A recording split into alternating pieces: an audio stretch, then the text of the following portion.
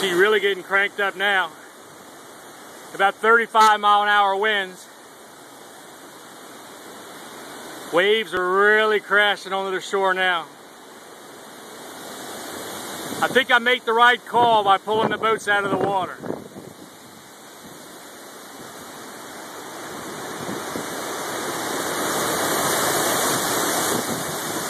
Wow, that's amazing.